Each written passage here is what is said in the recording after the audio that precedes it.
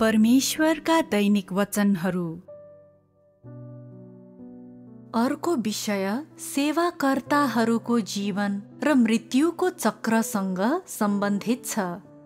हामीले भर्खरै सेवाकर्ताहरूको उत्पत्तिको बारेमा कुरा गर्यौं अर्थात् अघिल्लो जीवनमा अविश्वासी र पशु प्राणीको रूपमा रही तिनीहरूको पुनर्जन्म भएको हुन्छ।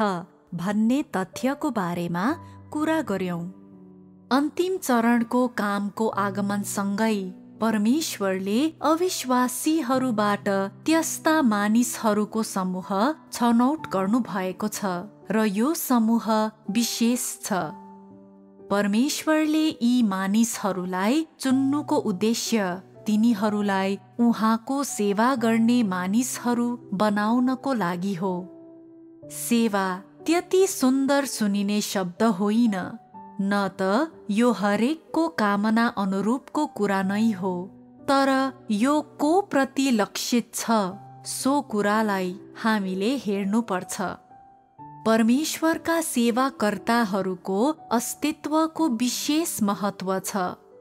अरू कसैले पनि तिनीहरूको भूमिका निर्वाह गर्न सक्दैन। किनभने तिनीहरूलाई परमेश्वरले नै चुन्नु भएको हुन्छ। र यी सेवाकर्ताहरूको भूमिका के हो त? तिनीहरूको भूमिका परमेश्वरका चुनिएका मानिसहरूको सेवा गर्नु हो। सामान्यतया तिनीहरूको काम भनेको परमेश्वरको कामको निम्ति सेवा दिनु। यसमा सहकार्य गर्नु र परमेश्वरले आफ्ना चुनिएकाहरूलाई पूर्ण तुल्याउने कार्यमा सहयोग गर्नु हो। तिनीहरूले परिश्रम गरिरहेको भए पनि कामको कुनै पक्ष अघि बढाइरहेको भए पनि वा निश्चित कार्यहरू गरिरहेको भए पनि यी सेवाकर्ताहरूप्रति परमेश्वरको मापदण्ड के हुन्छ त? के उहाँ तिनीहरूप्रतिको आफ्ना मापदण्डहरूमा अत्यन्तै धेरै कठोर हुनुहुन्छ? होइन। उहाँले तिनीहरूलाई निष्ठावान हुन मात्र लगाउनुहुन्छ। सेवाकर्ताहरू पनि निष्ठावान हुनुपर्छ। तेरो उत्पत्ति जे जस्तो भए पनि वा परमेश्वरले तँलाई जुन कारणले छनौट गर्नु भएको भए पनि त परमेश्वर प्रति परमेश्वरले तँलाई सुम्पनु हुने कुनै पनि कार्यभारहरूप्रति र त जुन कामको निम्ति जिम्मेवार छस् त्यस कार्यप्रति र तैँले पूरा गर्नुपर्ने जिम्मेवारीहरूप्रति त निष्ठावान हुनै पर्छ। परमेश्वरप्रति निष्ठावान हुन सक्ने र उहाँलाई सन्तुष्ट तुल्याउन सक्ने सेवाकर्ताहरूको हकमा तिनीहरूका परिणामहरू के हुनेछन्? तिनीहरू बस्न सक्नेछन्। के बस्ने सेवाकर्ताहरूको लागि यो आशिष हो? बस्नु भनेको के हो? यो आशिषको महत्व के हो त? हैसियतमा तिनीहरू परमेश्वरका चुनिएका मानिसहरूभन्दा विपरीत देखिन सक्छन्। तिनीहरू फरक देखिन्छन्। तर वास्तविकतामा के तिनीहरूले यस जीवनमा प्राप्त गर्ने कुरा परमेश्वरका चुनिएका मानिसहरूको जस्तै होइन र? कम्तीमा पनि यो यस जीवनमा उही हुन्छ। तिमीहरूले यसलाई नकार्दैनौ होइन र? परमेश्वरका वाणीहरू परमेश्वरको अनुग्रह परमेश्वरको बन्दोबस्त परमेश्वरका आशिषहरू। कसले यी कुराहरूमा आनन्द लिँदैन र? त्यस्तो प्रशस्ततामा सबैले आनन्द लिन्छन्। सेवाकर्ताको पहिचान भनेको सेवा गर्ने व्यक्ति हो तर परमेश्वरको लागि उहाँले सृष्टि गर्नुभएका सबै थोक मध्ये एउटा थोक मात्रै हो। के मात्रै हो भने तिनीहरूको भूमिका सेवाकर्ताको हो। तिनीहरू दुवै परमेश्वरका सृष्टि भएका हुनाले सेवाकर्ता र परमेश्वरको चुनिएको मानिसको बीचमा कुनै भिन्नता छ त? वास्तवमा भिन्नता छैन। भनाइमा त एउटा भिन्नता छ। सारमा र तिनीहरूले खेल्ने भूमिकामा एउटा भिन्नता छ। तर परमेश्वरले मानिसहरूको यो समूहलाई अनुचित रूपमा व्यवहार गर्नुहुन्न। त्यसो भए यी मानिसहरूलाई किन सेवाकर्ताको रूपमा परिभाषित गरिन्छ त? तिमीहरूसँग यस विषयमा केही बुझाइ हुनै पर्छ। सेवाकर्ता अविश्वासीहरूका बीचबाट आउँछन्। तिनीहरू अविश्वासीहरूका बीचबाट आउँछन् भनेर हामीले उल्लेख गर्ने बित्तिकै। तिनीहरूको पृष्ठभूमि खराब हुन्छ भन्ने कुरा स्पष्टै हुन्छ।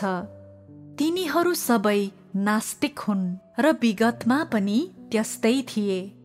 तिनीहरूले परमेश्वरलाई विश्वास गरेका हुँदैनन् र उहाँप्रति सत्यताप्रति र सकारात्मक सबै कुराप्रति तिनीहरू शत्रुवत रहेका हुन्छन्।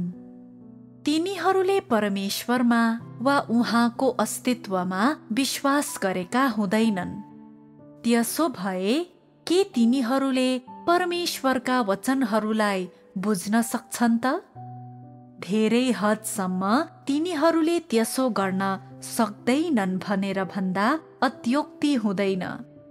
जसरी पशु प्राणीले मानव शब्दहरूलाई बुझ्न सक्दैनन् त्यसरी नै सेवाकर्ताहरूले परमेश्वरले के भनिरहनु भएको छ?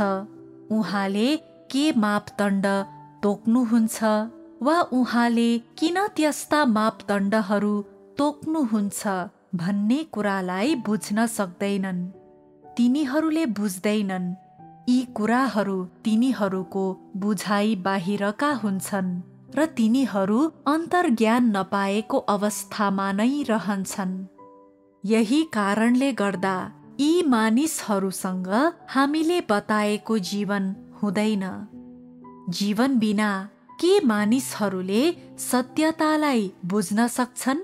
के तिनीहरू सत्यताद्वारा सुसज्जित हुन्छन्? के तिनीहरूसँग परमेश्वरका वचनहरूको अनुभव र ज्ञान हुन्छ? हुँदैन। सेवाकर्ताहरूको उत्पत्ति यसरी नै हुन्छ।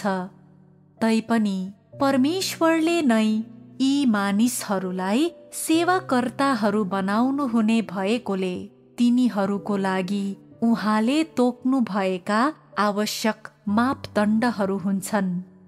उहाँले तिनीहरूलाई निच ठान्नुहुन्न न त उहाँले तिनीहरूसँग झारा टार्ने व्यवहार नै गर्नुहुन्छ।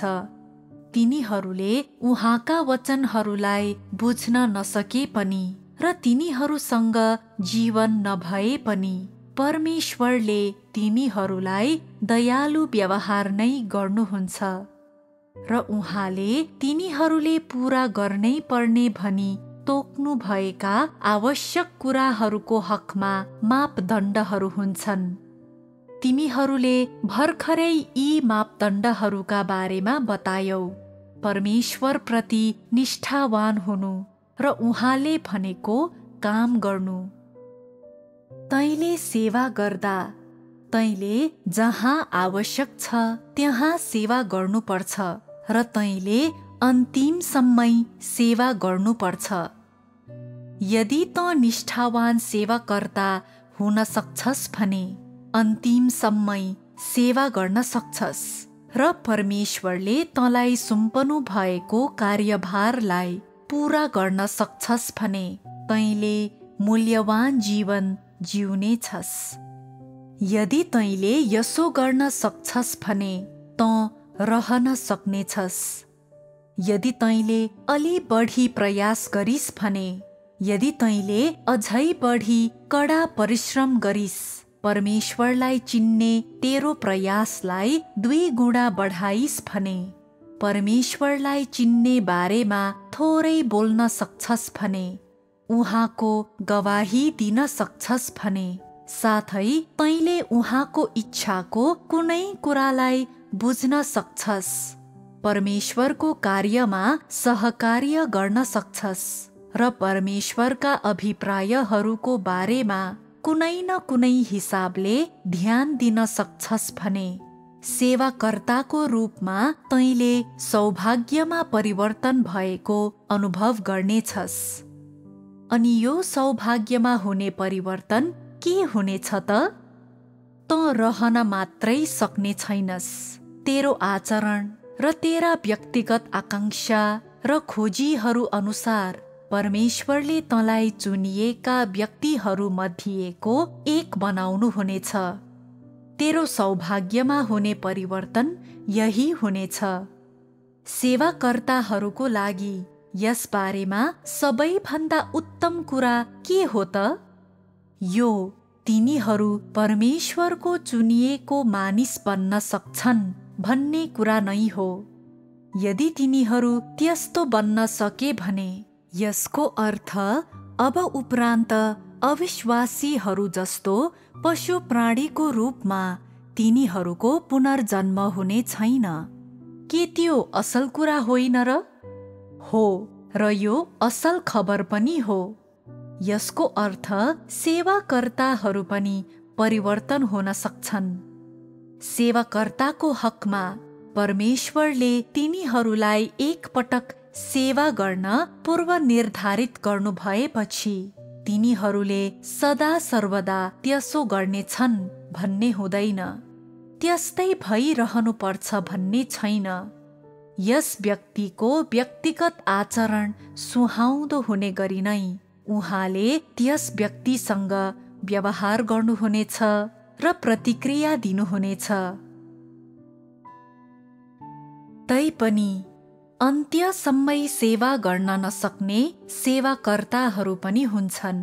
सेवाको अवधिमा आधा बाटोमा नै हार मान्ने र परमेश्वरलाई त्याग्ने मानिसहरू साथै धेरै गलत कार्यहरू गर्ने मानिसहरू पनि हुन्छन्। परमेश्वरको कार्यलाई धेरै हानि गर्ने र यसमा धेरै घाटा ल्याउने मानिसहरू पनि हुन्छन्। र परमेश्वरलाई सराप्ने आदि इत्यादि कार्य गर्ने सेवाकर्ताहरू पनि हुन्छन्। यी सुधार गर्न नसकिने परिणामहरूले के सङ्केत गर्छन्? त्यस्तो कुनै पनि दुष्ट कार्यहरूले तिनीहरूका सेवाको समाप्तिलाई जनाउँछ। तेरो सेवाको अवधिमा तेरो आचरण अत्यन्तै खराब रहेकोले र त अति हदसम्म पुगेको हुनाले परमेश्वरले तेरो सेवा मापदण्ड अनुरूप छैन भन्ने देख्नु भएपछि उहाँले तँलाई सेवा गर्ने तेरो योग्यताबाट निकालिदिनुहुनेछ। उहाँले तँलाई अब उपरान्त सेवा गर्न दिनुहुने छैन। उहाँले तँलाई उहाँको नजरबाट र परमेश्वरको घरबाट निकालिदिनुहुनेछ। के यो तैँले सेवा गर्न नचाहेर हो? के तैँले निरन्तर दुष्ट कार्य गर्न चाहँदैनस् र? के त निरन्तर अविश्वास योग्य हुँदैनस् र? त्यसो भए एउटा सहज समाधान छ। तँलाई सेवा गर्ने तेरो योग्यताबाट हटाइनेछ। परमेश्वरको लागि सेवाकर्तालाई सेवा गर्ने उसको योग्यताबाट हटाउनुको अर्थ यो सेवाकर्ताको अन्त्यको घोषणा गरिएको छ र ऊ अब उपरान्त परमेश्वरको सेवा गर्नको लागि योग्य हुने छैन भन्ने हुन्छ। परमेश्वरलाई अब उपरान्त यस व्यक्तिको सेवाको खाँचो हुँदैन र तिनीहरूले जस्तो सुकै राम्रो कुरा बोले पनि ती शब्दहरू व्यर्थ हुनेछन्।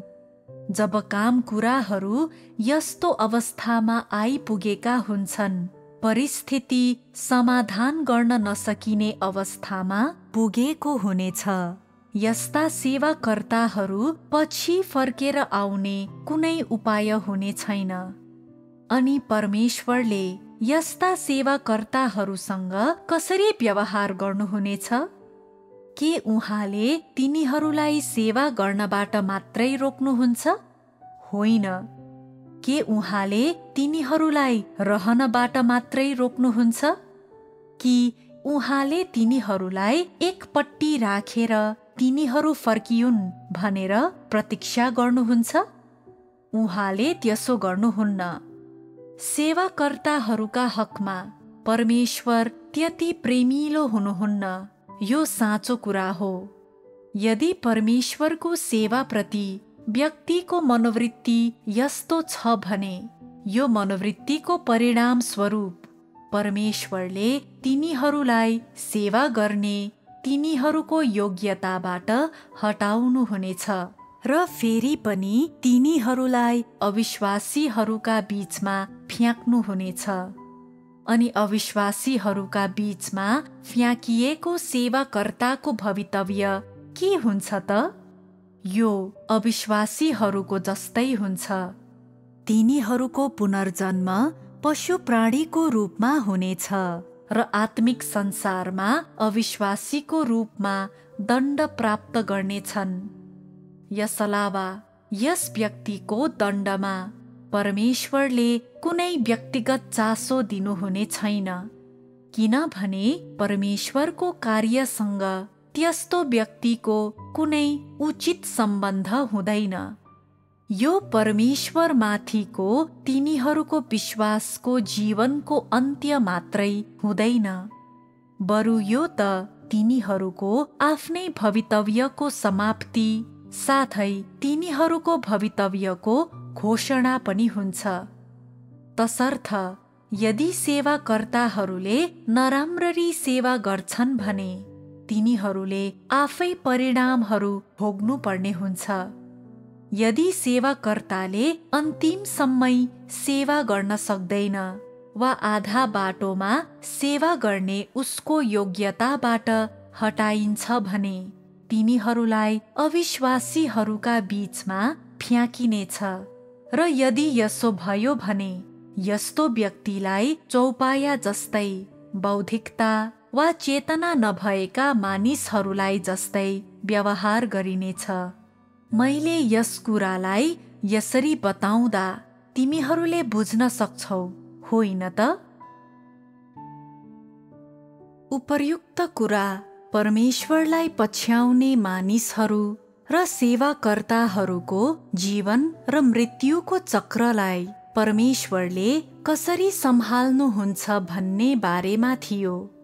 यो कुरा सुनेपछि तिमीहरूलाई कस्तो अनुभूति भयो? के मैले यस विषयमा पहिले कहिल्यै बताएको थिएँ? के मैले कहिल्यै परमेश्वरका चुनिएका मानिसहरू र सेवाकर्ताहरूको विषयमा बोलेको छु। मैले वास्तवमा यस विषयमा कुरा गरेको छु तर तिमीहरूलाई याद छैन। आफ्ना चुनिएका मानिसहरू र सेवाकर्ताहरूप्रति परमेश्वर धर्मी हुनुहुन्छ। सबै कुराको विषयमा उहाँ धर्मी हुनुहुन्छ। मैले सही कुरा भने यसमा तिमीहरूले कहीँ त्रुटि भेट्न सक्छौ? के यसो भन्ने मानिसहरू छैनन् र चुनिएका मानिसहरूप्रति परमेश्वर किन यति सहनशील हुनुहुन्छ? अनि सेवाकर्ताहरूप्रति उहाँ किन थोरै मात्र सहनशील हुनुहुन्छ? के सेवाकर्ताहरूका लागि कोही खडा हुन चाहन्छ? के परमेश्वरले सेवाकर्ताहरूका लागि थप समय दिन र तिनीहरूप्रति थप धैर्य र सहनशील हुन सक्नुहुन्छ? के त्यस्तो प्रश्न उठाउनु सही कुरा हो? होइन यो सही होइन। किन होइन?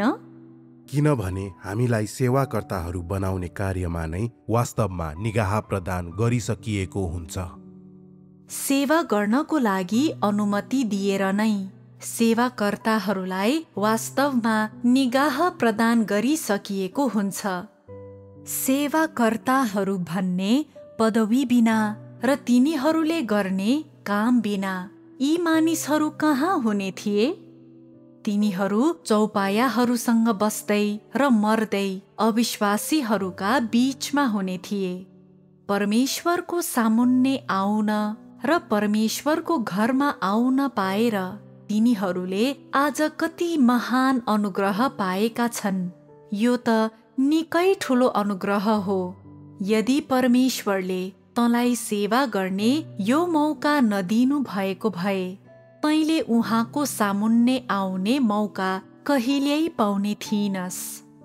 कम्तीमा पनि यदि तँ बुद्ध धर्मावलम्बी होस् र तैँले फल प्राप्त गरेको छस् भने पनि तँ बढीमा आत्मिक संसारको एउटा तल्लो तहको कर्मचारी बाहेक केही पनि होइनस्। तैँले परमेश्वरलाई कहिल्यै पनि भेट्ने छैनस्। उहाँको आवाज वा उहाँका वचनहरू सुन्ने छैनस् वा उहाँको प्रेम र आशिषहरू अनुभव गर्ने छैनस्। न त तँ कहिल्यै परमेश्वरको आम्ने सामने आउने सम्भावना नै हुन्छ। बुद्ध धर्मावलम्बीहरूका सामुन्ने हुने कुराहरू भनेका सरल कार्यहरू मात्रै हुन्। तिनीहरूले परमेश्वरलाई चिन्नु असम्भव छ र तिनीहरूले केवल आज्ञा पालन गर्छन् र हुकुम मान्छन्। तर सेवाकर्ताहरूले कामको यो चरणको अवधिमा धेरै कुरा प्राप्त गर्छन्। पहिलो तिनीहरू परमेश्वरको आम्ने सामने आउन उहाँको आवाज सुन्न उहाँका वचनहरू सुन्न र उहाँले मानिसहरूलाई दिनुहुने अनुग्रह र आशिषहरू अनुभव गर्न सक्छन्। यसको साथै तिनीहरूले परमेश्वरद्वारा दिइएका वचन र सत्यताहरूको आनन्द लिन सक्छन् सेवाकर्ताहरूले साँच्चै धेरै कुरा प्राप्त गर्न सक्छन्। तसर्थ सेवाकर्ताको रूपमा तैँले उचित प्रयास समेत गर्न सक्दैनस् भने के परमेश्वरले तँलाई राख्न सक्नुहुन्छ त? उहाँले तँलाई राख्न सक्नुहुन्न। उहाँले तँलाई त्यति धेरै माग्नुहुन्न। तैपनि उहाँले माग्नु भएको केही पनि कुरा तैँले उचित रूपमा गर्दैनस्। तैँले तेरो कर्तव्य पालन गरेको छैनस्। तसर्थ परमेश्वरले तँलाई राख्न सक्नुहुन्न भन्ने कुरामा कुनै शङ्का छैन। परमेश्वरको धर्मी स्वभाव यही हो। परमेश्वरले तँलाई पुलपुल्याउनुहुन्न तर उहाँले तँलाई पक्षपात पनि गर्नुहुन्न। परमेश्वरले काम गर्नुहुने सिद्धान्तहरू यिनै हुन्। परमेश्वरले सबै मानिस र प्राणीहरूलाई यसरी नै व्यवहार गर्नुहुन्छ।